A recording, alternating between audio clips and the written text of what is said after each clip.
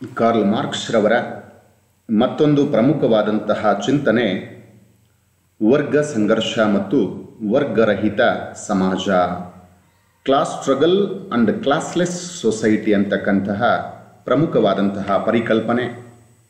Karl ಮಾರ್ಕ್ಸ್ರವರ ವರ್ಗ ಸಂಘರ್ಷ ಅಥವಾ ವರ್ಗ ಕಲಹ ತತ್ವ ದ್ವಂದ್ವಾತ್ಮಕ ಅಥವಾ ತಾರ್ಕಿಕ ಭೌತಿಕವಾದ ಡೈಲೆಕ್ಟಿಕಲ್ ಮೆಟ್ರಲಿಸಮ್ ಮತ್ತು ಅಧಿಕ ಮೌಲ್ಯ ಸಿದ್ಧಾಂತ ಡಾಕ್ಟ್ರಿನ್ ಆಫ್ ಸರ್ಪ್ಲಸ್ ವ್ಯಾಲ್ಯೂ ಇವುಗಳ ಉಪಸಿದ್ಧಾಂತವಾಗಿದೆ.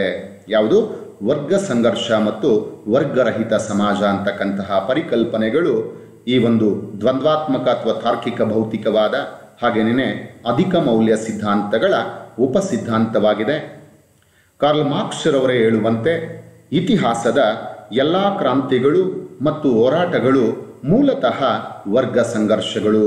ಅಂದರೆ ಮಾನವನ ಜೀವನ ಪ್ರಾರಂಭವಾದ ಮೇಲೆ, ಮಾನವ ಒಂದು ಕಡೆ ನೆಲೆ ನಿಂತು ವಾಸವನ್ನು ಮಾಡಲಿಕ್ಕೆ ಆರಂಭವನ್ನು ಮಾಡಿದ ಮೇಲೆ, ಆವಾಗಿನಿಂದ ಇಲ್ಲಿಯವರೆಗೂ ಕೂಡ ಏನೆಲ್ಲ ಕ್ರಾಂತಿಗಳು ಸಂಭವಿಸಿದಾವೆ, ಏನೆಲ್ಲ ಹೋರಾಟಗಳು ಸಂಭವಿಸಿದಾವೆ, ಇವೆಲ್ಲವೂ ಕೂಡ ಮೂಲತಃ ವರ್ಗ ಸಂಘರ್ಷಗಳು ಅಂತ ಹೇಳ್ತಾರೆ. ಇದಕ್ಕೆ ಉದಾಹರಣೆಯಾಗಿ ಸ್ಪಾರ್ಟಾಕಸ್ನ ನಾಯಕತ್ವದಲ್ಲಿ ರೋಮನ್ ಗುಲಾಮರ ಹೋರಾಟ ಗ್ಲೋರಿಯಸ್ ಮಹಾಕ್ರಾಂತಿ ಸಾವಿರದ ಎಂಟುನೂರ ಅರವತ್ತೊಂಬತ್ತು.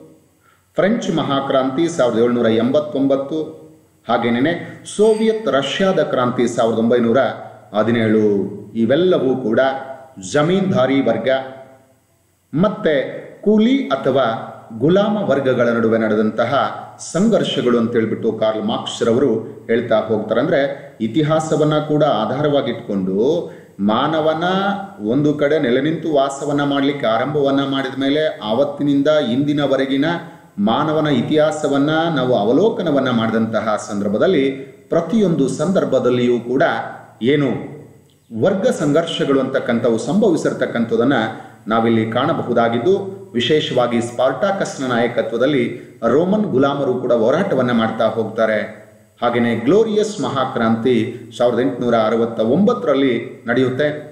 ಫ್ರೆಂಚ್ ಮಹಾಕ್ರಾಂತಿಯು ಕೂಡ ಫ್ರಾನ್ಸಿನ ಮಹಾಕ್ರಾಂತಿ ಸಾವಿರದ ಏಳ್ನೂರ ಎಂಬತ್ತೊಂಬತ್ತರಲ್ಲಿ ಜರುಗುತ್ತೆ. ಹಾಗೇನೇ ಸೋವಿಯತ್ ಯೂನಿಯನ್ ಏನಿದೆ, ರಷ್ಯಾ ಏನಿದೆ, ಆ ರಷ್ಯಾದ ಕ್ರಾಂತಿ ಅಂತಕ್ಕಂಥದ್ದು ಸಾವಿರದ ಒಂಬೈನೂರ ಹದಿನೇಳರಲ್ಲಿ ಸಂಭವಿಸುತ್ತೆ. ಈ ಎಲ್ಲ ಕ್ರಾಂತಿಗಳ ಮೂಲವನ್ನ ಕೂಡ ಗುರುತಿಸ್ತಾ ಹೋದಾಗ ಜಮೀನ್ದಾರಿ ವರ್ಗ ಅಥವಾ ಕೂಲಿ ಮತ್ತು ಗುಲಾಮ ವರ್ಗ ಏನಿದಾವೆ, ಇವುಗಳ ನಡುವೆ ನಡೆದಂತಹ ವರ್ಗ ಸಂಘರ್ಷಗಳು ಅಂತ ಹೇಳ್ಬಿಟ್ಟು ಕಾರ್ಲ್ ಮಾರ್ಕ್ಸ್ ರವರು ಹೇಳ್ತಾರೆ. ಅಂದಿನ ಆರ್ಥಿಕ ಪರಿಸ್ಥಿತಿಯಲ್ಲಿ ತಮ್ಮ ಒಂದು ಸ್ಥಾನದ ಪ್ರಜ್ಞೆಯಿಂದಾಗಿ ಒಟ್ಟಾಗಿರ್ತಕ್ಕಂಥ ಅಥವಾ ಒಂದಾಗಿರ್ತಕ್ಕಂಥ ಜನರ ಸಮೂಹವನ್ನ ಮಾರ್ಕ್ಸ್ ವರ್ಗ ಅಂತ ಹೇಳ್ಬಿಟ್ಟು ಕರೀತಾರೆ. ಅಂದ್ರೆ ಆರ್ಥಿಕ ಆವತ್ತಿನ ಆರ್ಥಿಕ ಪರಿಸ್ಥಿತಿಯಲ್ಲಿ ತಮ್ಮ ಒಂದು ಸ್ಥಾನದ ಪ್ರಜ್ಞೆಯಿಂದಾಗಿ ಒಟ್ಟುಗೂಡಿರ್ತಕ್ಕಂತಹ ಜನರ ಸಮೂಹವನ್ನೇ ಮಾರ್ಕ್ಸ್ ರವರು ವರ್ಗ ಅಂತ ಹೇಳ್ಬಿಟ್ಟು ಕರೀತಾರೆ. ಈ ಒಂದು ಸದಸ್ಯರುಗಳು ತಮ್ಮ ಭಾವನೆ, ಅನಿಸಿಕೆಗಳನ್ನ ಒಂದು ವರ್ಗವಾಗಿ ವ್ಯಕ್ತಪಡಿಸ್ತಾ ಹೋಗ್ತಾರೆ. ಹಾಗೇನೇ ಉತ್ಪಾದನೆ, ವಿತರಣೆ ಮತ್ತು ವಿನಿಮಯದ ಮೇಲೆ ನಿಯಂತ್ರಣವನ್ನ ಹೊಂದಿರತಕ್ಕಂತಹ ವರ್ಗ ಶೋಷಕ ವರ್ಗವಾದರೆ ಅವರನ್ನು ಅವಲಂಬಿಸಿ ತಮ್ಮ ಒಂದು ಶ್ರಮವನ್ನ ಮಾರಿಕೊಂಡು ಜೀವನವನ್ನ ಅಥವಾ ಜೀವನಾಂಶವನ್ನ ಸಂಪಾದಿಸಿಕೊಳ್ತಕ್ಕಂತಹ ಕಾರ್ಮಿಕ ವರ್ಗ ಶೋಷಿತ ವರ್ಗವಾಗಿದೆ. ಜಮೀನ್ದಾರಿ ಪದ್ಧತಿಯಲ್ಲಿ ಜಮೀನ್ದಾರರು ಮತ್ತು ಗುಲಾಮರು ವಿರೋಧಿ ವರ್ಗಗಳಾದರೆ ಬಂಡವಾಳಶಾಹಿ ವ್ಯವಸ್ಥೆಯಲ್ಲಿ ಬಂಡವಾಳಶಾಹಿಗಳು ಮತ್ತು ಕಾರ್ಮಿಕ ವರ್ಗಗಳೆರಡೂ ಕೂಡ ವಿರೋಧಿ ವರ್ಗಗಳಾಗಿದ್ದಾವೆ. ಅಂದರೆ ಕಾರ್ಲ್ ಮಾರ್ಕ್ಸ್ರವರ ವಿಚಾರವನ್ನು ನಾವು ಗಮನಿಸ್ತಾ ಹೋದಾಗ ಮಾನವನ ಇತಿಹಾಸವನ್ನು ಇಲ್ಲಿಯವರೆಗೂ ಕೂಡ ಅವಲೋಕನ ಮಾಡಿದಂತಹ ಸಂದರ್ಭದಲ್ಲಿ ಏನೆಲ್ಲವೂ ಕೂಡ ಹೋರಾಟಗಳು ನಡೆದಿದ್ದಾವೆ, ಅವೆಲ್ಲವೂ ಕೂಡ ವರ್ಗ ಸಂಘರ್ಷಗಳು ಅಂತ ಹೇಳಿಬಿಟ್ಟು ಕಾರ್ಲ್ ಮಾರ್ಕ್ಸ್ ಅಂತಕ್ಕಂಥವ್ರ ಅಭಿಪ್ರಾಯವನ್ನ ವ್ಯಕ್ತಪಡಿಸ್ತಾ ಹೋಗ್ತಾರೆ. ಹಾಗೇನೇನೆ ಇಲ್ಲಿ ಉದಾಹರಣೆಗಳನ್ನು ಕೂಡ ಕೊಡ್ತಾ ಹೋಗ್ತಾರೆ. ಜಮೀನ್ದಾರಿ ಪದ್ಧತಿಯಲ್ಲಿ ಜಮೀನ್ದಾರರು ಮತ್ತು ಗುಲಾಮರು ಅಂತಕ್ಕಂಥವ್ರು ವಿರೋಧಿ ವರ್ಗಗಳು, ಬಂಡವಾಳಶಾಹಿ ವ್ಯವಸ್ಥೆಯಲ್ಲಿ ಬಂಡವಾಳಗಾರರು ಮತ್ತು ಕಾರ್ಮಿಕ ವರ್ಗ ಇವೆರಡೂ ಕೂಡ ಪರಸ್ಪರ ವಿರೋಧಿ ವರ್ಗಗಳಾಗಿದ್ದಾವೆ ಅಂತ ಹೇಳ್ತಾರೆ. ಮಾರ್ಕ್ಸ್ ರವರ ಪ್ರಕಾರ ಮಾನವನು ಜೀವನಾಂಶವನ್ನ ಸಂಪಾದಿಸಿಕೊಳ್ಳಲಿಕ್ಕೋಸ್ಕರವಾಗಿ ಉಪಯೋಗಿಸ್ತಕ್ಕಂಥ ಸಾಧನಗಳ ಆಧಾರದ ಮೇಲೆ ಮಾನವರನ್ನ ಪ್ರತ್ಯೇಕವಾದಂಥ ಗುಂಪುಗಳಾಗಿ ವಿಂಗಡಿಸಲ್ಪಡ್ತಾ ಹೋದ್ರು. ಆದ್ದರಿಂದಲೇ ಮಾನವ ಸಮಾಜದ ಇತಿಹಾಸವೇ ವರ್ಗ ಸಂಘರ್ಷ ಅಥವಾ ವರ್ಗ ಕಲಹದ ಇತಿಹಾಸವೇ ಆಗಿದೆ ಅಂತ ಹೇಳ್ಬಿಟ್ಟು ಹೇಳ್ತಾ ಹೋಗ್ತಾರೆ. ಅಂದ್ರೆ ಕಾರ್ಲ್ ಮಾರ್ಕ್ಸ್ ರವರ ಪ್ರಕಾರ ಮಾನವ ಅಂತಕ್ಕಂಥವನು ಜೀವನಾಂಶವನ್ನು ಸಂಪಾದಿಸಿಕೊಳ್ಳಲಿಕ್ಕೋಸ್ಕರ ಉಪಯೋಗಿಸ್ತಕ್ಕಂಥ ಸಾಧನಗಳ ಆಧಾರದ ಮೇಲೆ ಪ್ರತ್ಯೇಕ ಗುಂಪುಗಳಾಗಿ ವಿಂಗಡಿಸಲ್ಪಟ್ಟರು ಅಂತ ಹೇಳ್ತಾರೆ. ಆದ್ದರಿಂದಲೇ ಮಾನವ ಸಮಾಜದ ಇತಿಹಾಸವೇ ವರ್ಗ ಸಂಘರ್ಷ ಅಥವಾ ವರ್ಗ ಕಲಹದ ಇತಿಹಾಸವಾಗಿದೆ ಅಂತ ಹೇಳಿಬಿಟ್ಟು ಮಾರ್ಕ್ಸ್ ಹೇಳ್ತಾರೆ. ಹಾಗೆಯೇ ಕಾರ್ಲ್ ಮಾರ್ಕ್ಸ್ ಇರುವರ ಪ್ರಕಾರ ಮಾನವ ಸಮಾಜ ಅಂತಕ್ಕಂತಹದ್ದು ಪ್ರಾಚೀನ ಕಾಲದಿಂದಲೂ ಕೂಡ ಎರಡು ವರ್ಗಗಳಿಂದ ಕೂಡಿತ್ತು ಅಂತ ಹೇಳ್ತಾರೆ. ಅದನ್ನು ಕೂಡ ಐತಿಹಾಸಿಕ ಆಧಾರದ ಮೇಲೆ ವಿವರಿಸ್ತಾ ಹೋಗ್ತಾರೆ. ಈ ಎರಡೂ ವರ್ಗಗಳು ಯಾವ್ಯಾವಪ್ಪ ಅಂತಂದರೆ ಒಂದು ಶೋಷಕ ವರ್ಗ ಎಕ್ಸ್ಪ್ಲಾಯ್ಟರ್ ಮತ್ತೊಂದು ಶೋಷಣೆಗೆ ಒಳಪಡ್ತಕ್ಕಂತಹ ಶೋಷಿತ ವರ್ಗ ಎಕ್ಸ್ಪ್ಲಾಯಿಟೆಡ್ ಅಂದರೆ ಈ ರೀತಿಯಾಗಿ ಮಾನವನ ಇತಿಹಾಸವೇ ವರ್ಗ ಕಲಹ ಅಥವಾ ವರ್ಗ ಸಂಘರ್ಷದ ಇತಿಹಾಸವಾಗಿದೆ ಅಂತ ಹೇಳ್ತಾರೆ. ಇದಕ್ಕೆ ಸಾಕಷ್ಟು ನಿದರ್ಶನಗಳನ್ನು ಕೂಡ ಹೇಳ್ತಾ ಹೋಗ್ತಾರೆ. ಆಳುವವರು ಮತ್ತು ಗುಲಾಮರು ಅಂದರೆ ಪ್ರಾಚೀನ ಕಾಲದಿಂದಲೂ ಕೂಡ ಮಾನವನ ಇತಿಹಾಸವನ್ನು ಅವಲೋಕಿಸಿದಾಗ ಮಾನವನ ಇತಿಹಾಸದ ಪ್ರತಿಯೊಂದು ಕಾಲಘಟ್ಟದಲ್ಲೂ ಕೂಡ ಎರಡು ವರ್ಗಗಳು ಅಂತಕ್ಕಂಥ ಅಸ್ತಿತ್ವದಲ್ಲಿತ್ತು. ಪರಸ್ಪರ ವರ್ಗಗಳ ನಡುವೆ ಸಂಘರ್ಷ ಅಥವಾ ಕಲಹಗಳು ಅಂತಕ್ಕಂಥದ್ದು ಸಂಭವಿಸ್ತಾ ಇತ್ತು ಅಂತ ಹೇಳ್ತಾರೆ. ಅದಕ್ಕೆ ಉದಾಹರಣೆಯಾಗಿ ಹೇಳ್ತಾ ಹೋಗ್ತಾರೆ. ಆಳುವವರು ಮತ್ತು ಗುಲಾಮರು ಭೂ ಒಡೆಯರು ಮತ್ತು ಭೂರಹಿತರು, ಶ್ರೀಮಂತರು ಮತ್ತು ಬಡವರು, ಬಂಡವಾಳಶಾಹಿಗಳು ಮತ್ತು ಕಾರ್ಮಿಕರು ಅಂತಕ್ಕಂಥ ಎರಡು ವರ್ಗಗಳನ್ನು ಮಾನವನ ಇತಿಹಾಸದ ಪ್ರತಿ ಕಾಲಘಟ್ಟದಲ್ಲಿಯೂ ಕೂಡ ಗುರುತಿಸಬಹುದು ಅಂತಕ್ಕಂಥದ್ದು ಕಾರ್ಲ್ ಮಾರ್ಕ್ಸ್ ರವರ ಅಭಿಪ್ರಾಯವಾಗಿದೆ. ಈ ಎರಡೂ ವರ್ಗಗಳ ನಡುವಿನ ಸಂಘರ್ಷ ಅಂತಕ್ಕಂಥದ್ದು ಅಥವಾ ಕಲಹ ಅಂತಕ್ಕಂಥದ್ದು ಶಾಶ್ವತ ಲಕ್ಷಣವಾಗಿದೆ. ಅಂದರೆ ಮಾನವನ ಇತಿಹಾಸದ ಪ್ರತಿ ಕಾಲಘಟ್ಟದಲ್ಲೂ ಕೂಡ ಎರಡೂ ವರ್ಗಗಳನ್ನು ನಾವು ನಿರಂತರವಾಗಿ ಕಾಣಬಹುದಾಗಿದೆ. ಈ ಎರಡೂ ವರ್ಗಗಳ ನಡುವಣ ಎಲ್ಲ ಕಾಲದಲ್ಲಿಯೂ ಕೂಡ ವರ್ಗ ಸಂಘರ್ಷ ಅಥವಾ ವರ್ಗ ಕಲಹ ಅಂತಕ್ಕಂಥದ್ದು ಶಾಶ್ವತವಾದಂತಹ ಲಕ್ಷಣವಾಗಿದೆ ಅಂತ ಹೇಳ್ತಾರೆ. ಇದಕ್ಕೆ ಕಾರಣವನ್ನ ಕೂಡ ಕಾರ್ಲ್ ಮಾರ್ಕ್ಸ್ ರವರು ಹೇಳ್ತಾರೆ. ಇದಕ್ಕೆ ಕಾರಣ ಏನಪ್ಪಾ ಅಂತಂದ್ರೆ ಆರ್ಥಿಕ ವ್ಯವಸ್ಥೆಯೇ ಕಾರಣ. ಅಂದರೆ ಆಗಿದ್ದಂತಹ ಎಕನಾಮಿಕ್ ಸಿಸ್ಟಮ್ ಏನಿದೆ, ಆರ್ಥಿಕ ವ್ಯವಸ್ಥೆ ಏನಿದೆ, ಇದೇ ಕಾರಣವಾಗಿದ್ದು ಇದು ಒಂದು ವರ್ಗವಾಗಿ ಶೋಷಣೆ ಮಾಡುವವರನ್ನ ಮತ್ತೊಂದು ವರ್ಗವಾಗಿ ಶೋಷಣೆಗೆ ಒಳಪಡ್ತಕ್ಕಂಥ ವರ್ಗವಾಗಿ ಸೃಷ್ಟಿಯನ್ನ ಮಾಡಿಬಿಟ್ಟಿದೆ. ಹಾಗಾದ್ರಲ್ಲಿ ಮಾರ್ಕ್ಸ್ ರವರ ಅಭಿಪ್ರಾಯದಲ್ಲಿ ಒಂದು ವರ್ಗ ಶೋಷಣೆ ಮಾಡುವವರನ್ನ ಅಂದರೆ ರಾಜ್ಯದ ಆರ್ಥಿಕ ನಿಯಂತ್ರಣವನ್ನ ಹೊಂದಿರತಕ್ಕಂಥ ವರ್ಗ ಶೋಷಣೆ ಮಾಡ್ತಕ್ಕಂಥ ವರ್ಗವಾಗತ್ತೆ, ಶೋಷಕ ವರ್ಗವಾಗತ್ತೆ.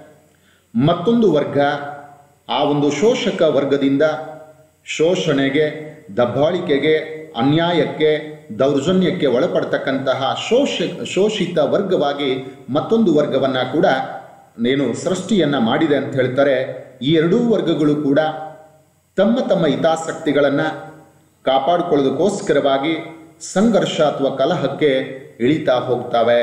ನೋಡಿ, ಕಾರ್ಲ್ ಮಾರ್ಕ್ಸ್ ರವರು ಜೀವಿಸಿದ್ದಂತಹ ಸಂದರ್ಭದಲ್ಲಿ, ಆಗಿನ ಒಂದು ಪರಿಸ್ಥಿತಿಯಲ್ಲಿ ಆಕ್ಚುಲ್ ಆಗಿ ಬಂಡವಾಳಶಾಹಿ ವರ್ಗ ರಾಜ್ಯದ ಆರ್ಥಿಕ ನಿಯಂತ್ರಣವನ್ನ ಅಥವಾ ಉತ್ಪಾದನೆಯ ಮೇಲೆ ಸಂಪೂರ್ಣವಾದಂತಹ ಒಡೆತನವನ್ನ ಹೊಂದಿತ್ತು.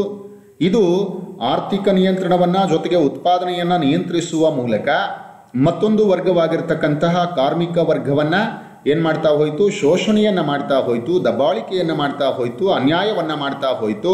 ಇದರಿಂದಾಗಿ ಏನಾಗ್ತಾ ಹೋಯಿತು?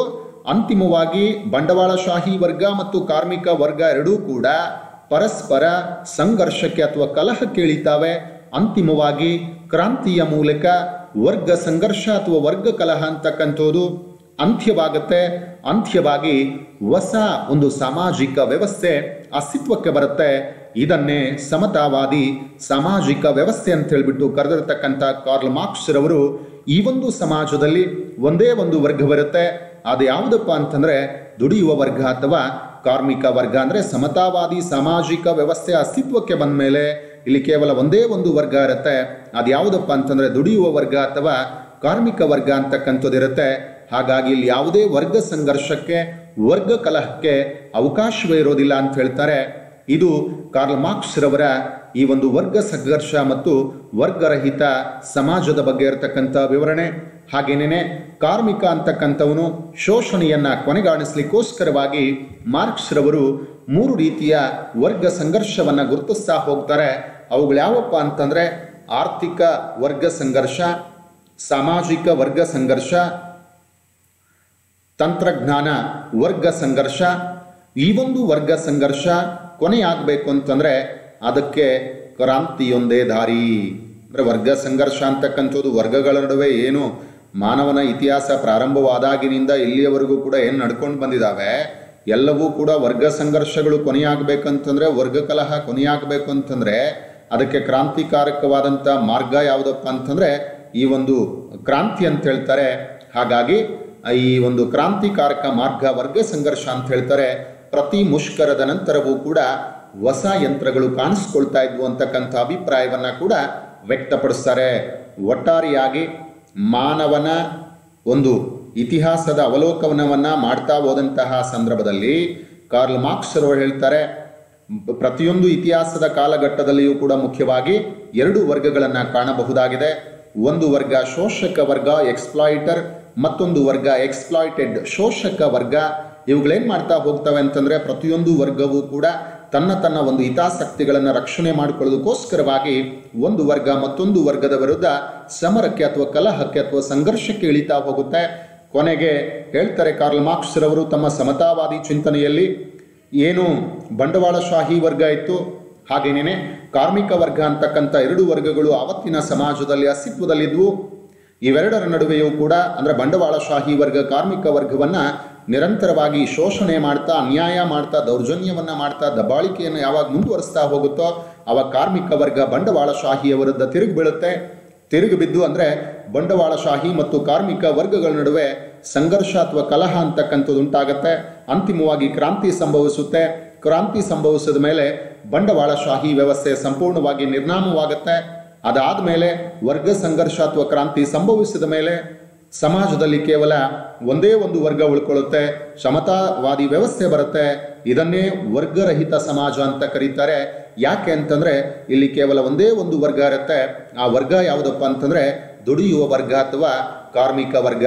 ಸರ್ವೇ ಸಾಮಾನ್ಯವಾಗಿ ಸಮಾಜದಲ್ಲಿ ಒಂದೇ ಒಂದು ವರ್ಗವಿದ್ದಾಗ ಯಾವುದೇ ಕಾರಣಕ್ಕೂ ಕೂಡ ವರ್ಗ ಸಂಘರ್ಷಕ್ಕೆ ಅವಕಾಶ ಬರೋದಿಲ್ಲ ಇದನ್ನೇ ವರ್ಗರಹಿತ ಸಮಾಜ ಅಂತ ಹೇಳ್ಬಿಟ್ಟು ಕಾರ್ಲ್ ಮಾರ್ಕ್ಸ್ ರವರು ಕರೆದಿದ್ದಾರೆ.